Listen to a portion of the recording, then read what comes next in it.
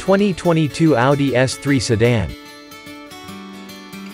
If the Audi A3 is a Volkswagen Golf GTI for the upwardly mobile, then the S3 is for the exec who wants VW Golf R performance without the hot hatch attitude. This is a more subdued take on a small performance sedan, but make no mistake, the S3 has seriously impressive credentials.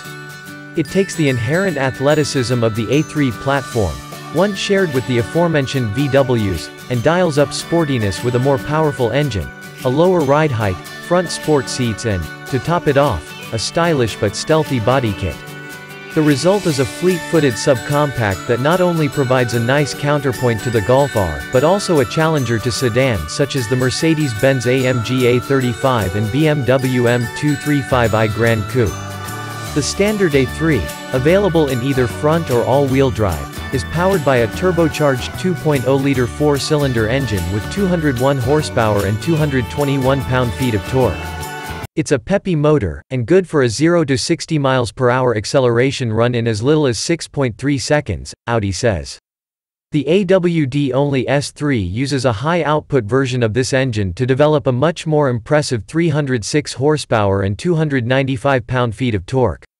That's actually a little less than the Golf R's 315 horsepower. But Audi says the S3 will be slightly quicker in a drag race, the S3 is estimated to hit 60 miles per hour from a standstill in just 4.5 seconds, compared to the Golf R's 4.7 seconds.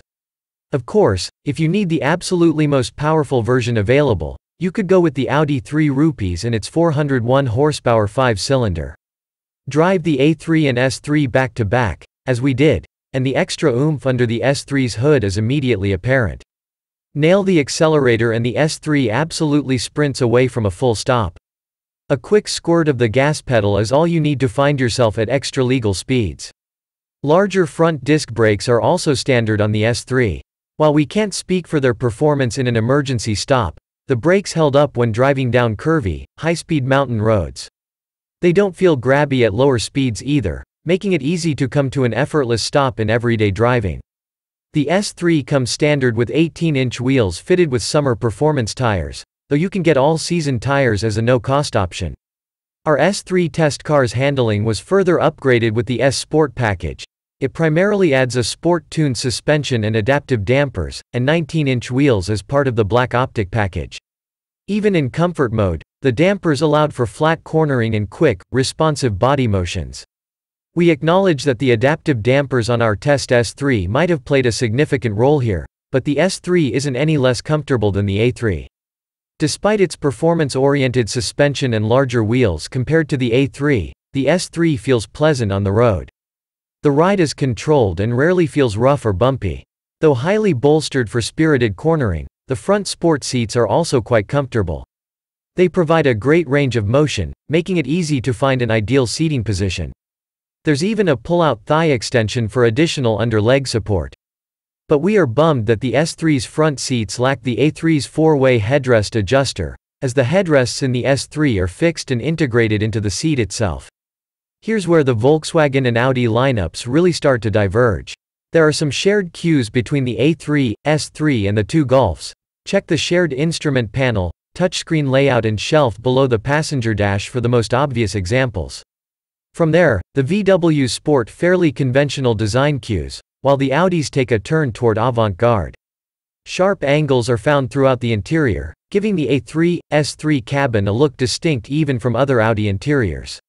Perhaps unsurprising given its modest size, room is at a premium inside the A3.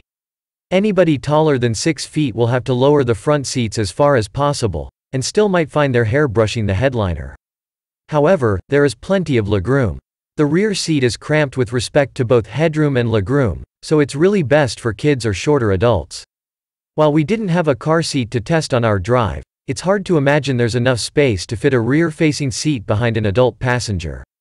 The previous S3 was one of the only Audis still using a display screen interface controlled by a knob and buttons. That changes for the 2022 S3, which adopts a touchscreen like all of the newest Audis. The 10.1-inch screen features the MIB3 interface alongside Apple CarPlay and Android Auto smartphone integration, with wireless functionality for both. A 10.25-inch digital instrument panel is standard, and buyers can option the more fully featured digital cockpit display, which increases the size to 12.3 inches.